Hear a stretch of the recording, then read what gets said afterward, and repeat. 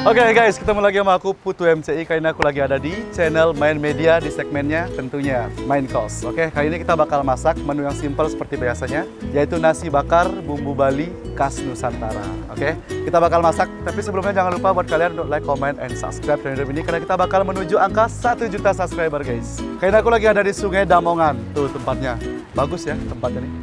Pokoknya sekarang kita bakal langsung aja masak. Check it out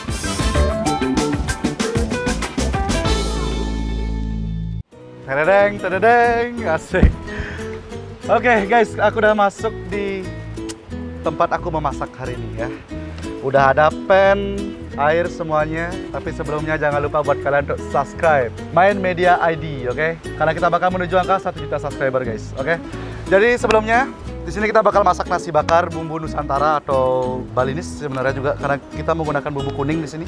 Yang pertama kita punya di sini adalah bahan utamanya nasi putih. Kalian boleh pakai nasi putih apa aja, terserah kalian di rumah. Terus ada daun pisang. Terus uh, protein aku di sini punya ikan cekalan ya. Ini kira-kira nih 200 gram. Bebas kalian juga mau pakai seberapa. Terus aku punya tomat nanti agar ada flavor asam. Aku ada kemiri, bawang putih, bawang merah, daun salam ya. Ada red chili atau cabai besar. Terus aku juga punya cabai kecil atau hot chili. Di sini aku juga ada kencur, terus ada jahe, ada kunyit juga ya. Terus seasoning aku pakai 4 seasoning di sini. Ada merica bubuk, ada gula, ada garam sama chicken powder. Terus aku di sini ada minyak kelapa. Oke, step pertama kita bakal bikin dulu bumbu untuk proteinnya. Oke, aku pakai hand glove dulu. Kita pakai hand glove. Kita bakal hancurin dulu pindang cekalannya. Aku hancurin dulu karena ini paling lama ya prosesnya ya. Memisahkan antara daging dan tulang guys. Jangan sampai tulang ntar ikut masuk ke dalamnya ya. Menu ini juga gampang banget kalian buat di rumah ya. Benar-benar gampang dan benar-benar simpel banget. Kita hancurin tapi nggak terlalu hancur-hancur banget ya. Nggak maksudnya nggak halus ya hancur-hancurnya. Ya sisit lah sisit. Kita bakal tumis ntar dia.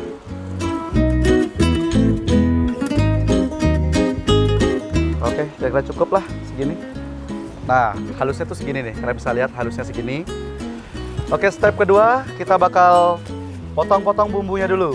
Di sini ada dua bumbu ya. Ada bumbu untuk numis dan ada juga bumbu yang kita masukin atau bumbu halusnya. Yang pertama kita pakai cabai besar untuk kita tumis. Terus ada cabai kecil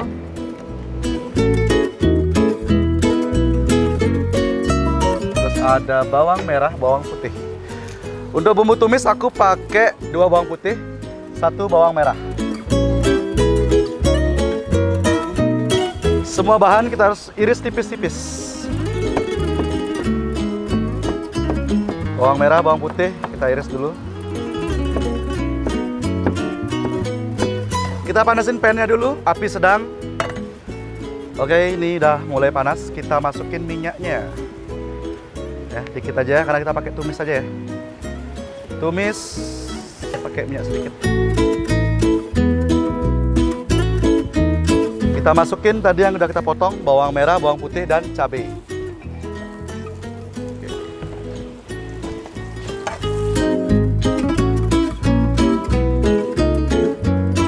Hmm, aromanya udah keluar nih. Aroma-aroma karamelis dari bawang putih ya atau garlic Sesudah dia matang baru kita bakal masukin ikan cekalannya.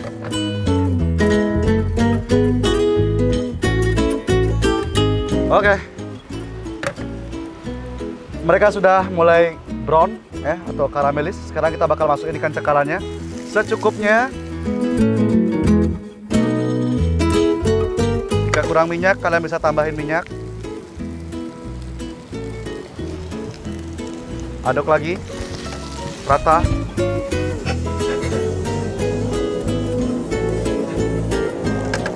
Kita sesening dikit. Chicken powder, merica, ada garam, terus ada gula juga. Eh.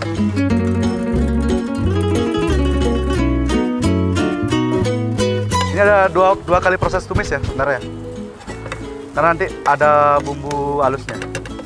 Oh, kita masukin aja semuanya langsung ya.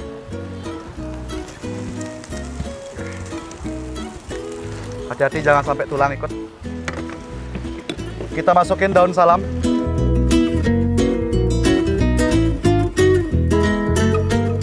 Yang udah tumis, sekarang kita bakal masukin lagi ke piring. Kita gabungin dia.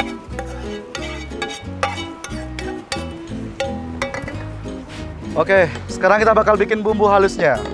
Oke, bumbu halus pakai kencur. Di sini aku punya kencur. Aku pakainya setengah ruas jari ya. Terus aku punya kulit.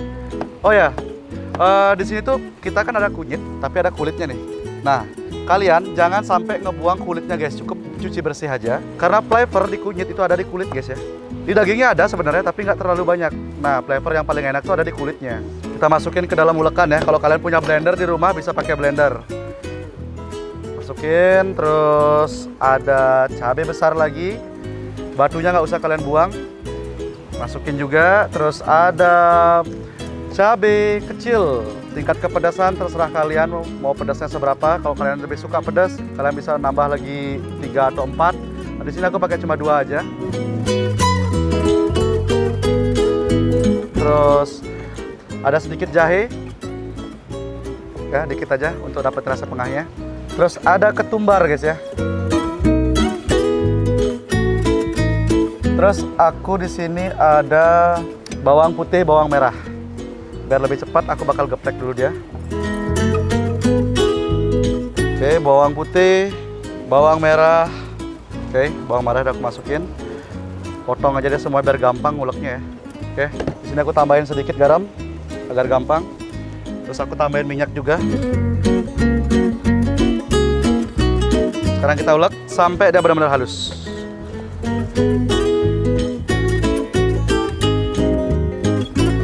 Oke, sekarang kita bakal isiin kemiri. Ya, kita hancurin kemirinya biar cepat dia halus ya. Oke, kita pindahin ke dalam ulekannya. Ulek lagi sampai dia halus.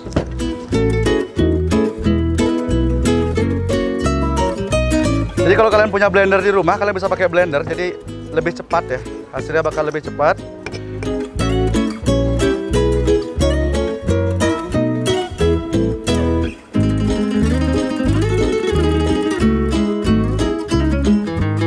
Sudah halus. Nih, tingkat kehalusannya kalian bisa lihat langsung di kamera. Oke, jadi kita panasin pannya. Ada minyak sedikit di sini. Kita bakal tumis bumbu kuning yang tadi ya. Kita cek apakah udah panas atau belum. Baru kita masukin bumbu kuningnya. Terus di sini uh, ada sisa bumbu ya di ulekan. Jangan kita buang. Nanti kita bisa masak lagi. Tumis sampai rata. Sampai benar-benar matang. Karena tadi kita kasih air, jadi di bumbunya ada kandungan airnya guys ya. Nah, untuk mengetahui kadar kandungan airnya di sini, nah mereka tuh beruap sampai habis uapnya, baru kandungan airnya itu habis. Oke, ini kita taruh dulu, kita bersihin dulu, karena nanti kita bakal lipat dia pakai daun. Untuk flavor asam di sini aku pakai tomat, ya. Tomat aku bakal potong julian, tapi bebas sih kalian mau uh, potongan tomatnya kayak apa, bebas. Kita hilangin batunya. Kita potong. Bumbunya udah matang. Kita bagi dua sekarang. Setengahnya kita masukin ke dalam nasi. Kita gabungin sama nasi. Oke. Setengahnya lagi kita isiin tomat. Sekarang kita bakal masak cekalan tadi yang udah kita tumis. Kita gabungin sama bumbu kuningan tadi ya. Kita aduk. Nah, warnanya bakal berubah ya. Cekalannya bakal warna kuning gitu.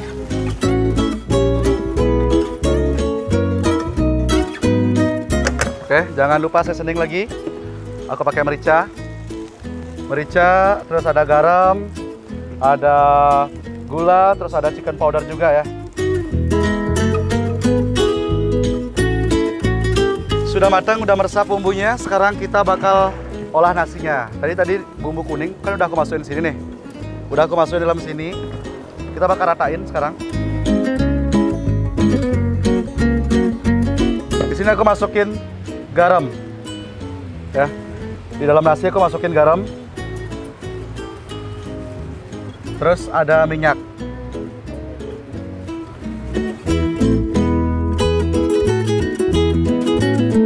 Oke, sekarang kita bakal buka dulu daunnya. Sekarang daunnya kita taruh di sini, terus kita lap. Aku pakai dua.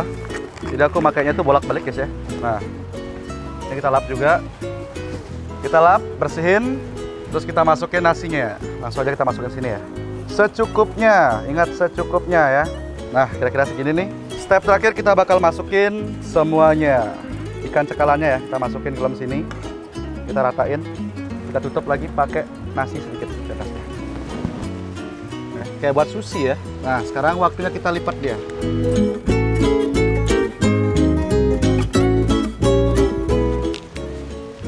sini aku bakal tusuk dia pakai tusuk sate kalau kalian punya jepret di rumah atau strapless bisa kalian pakai nggak masalah ujungnya satu lagi kita lipat juga Step terakhir, ini kita pindahin dulu ya, dan ke piring. Sekarang kita bakal grill dia tanpa minyak. Kita hidupkan apinya, kita besarin, terus kita lihat suhu panasnya. Kita masukin aja langsung. Oke, kita masukin, terus kita prepare untuk platingnya.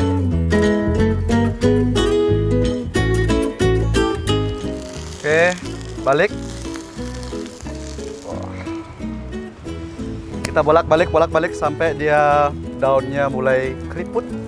Kita tunggu. Kira-kira nih prosesnya nih 20 menitan ya.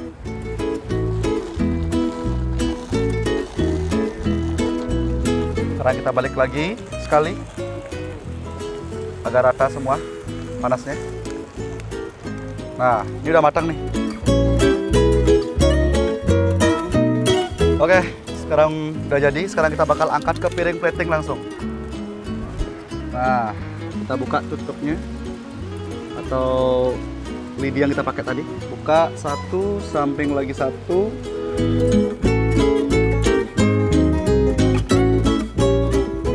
oke nasi bakar bumbu Bali Nusantara ready to serve now